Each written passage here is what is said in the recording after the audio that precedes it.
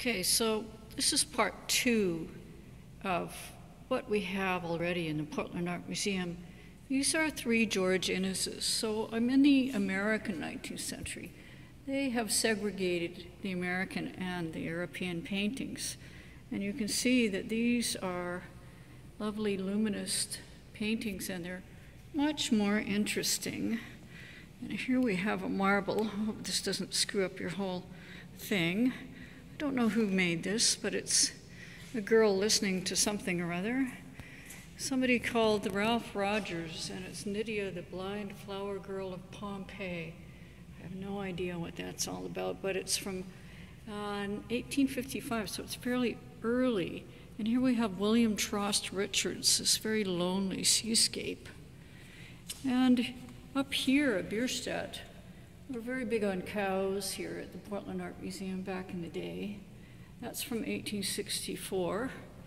And William Morris Hunt uh, from 1876. So we have a pretty good representation of the landscape school. This is Ralph Blakelock, uh, Cheyenne Encampment from 1873.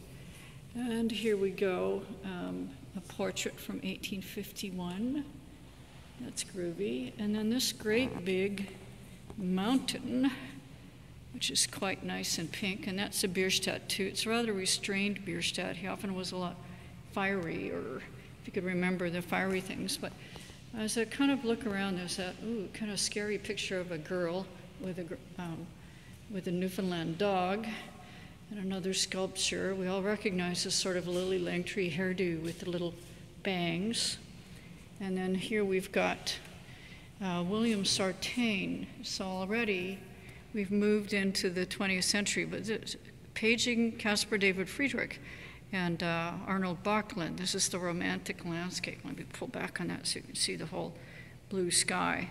Um, so we very quickly move away from uh, the landscapes here, and we're into genre painting. Here's a Thomas Eakins.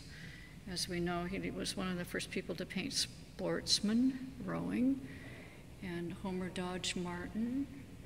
Again, a romantic landscape. Look at those poplars on the right. And then George DeForest Brush.